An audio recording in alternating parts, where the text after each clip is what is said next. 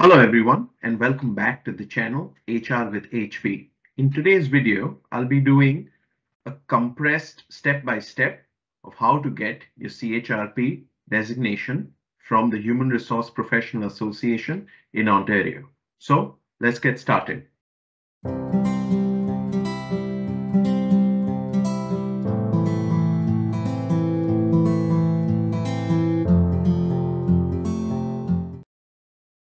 So first and foremost, even before starting anything, you have to be a member of the association HRPA. Either you start off as a student member, I would recommend that, or you become an ordinary member, and then everything starts. So you pay your membership fees, you're the member, that's the first step.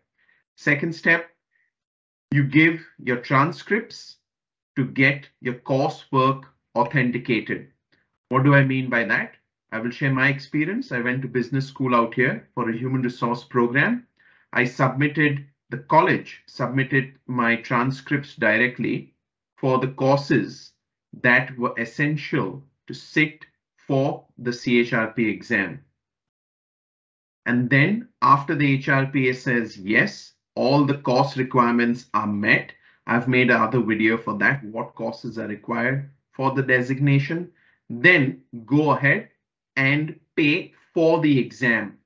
So there are two exams. First is the knowledge exam and then is the employment law exam.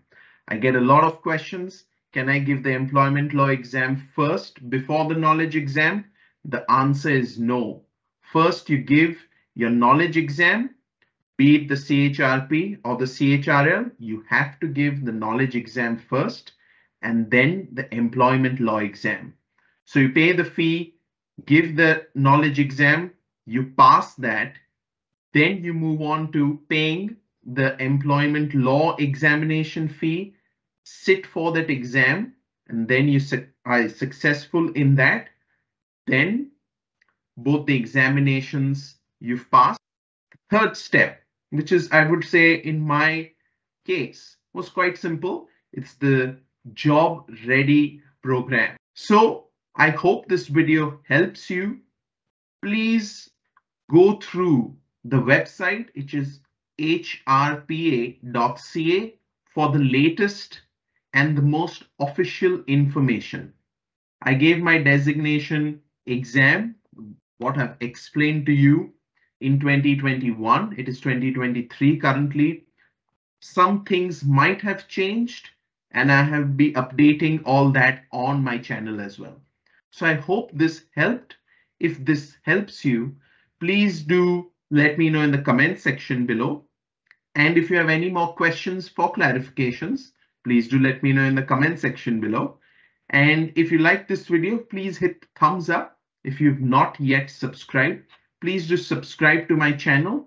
I make human resource related content for everybody. So again, thank you very much and see you next week. Bye. You.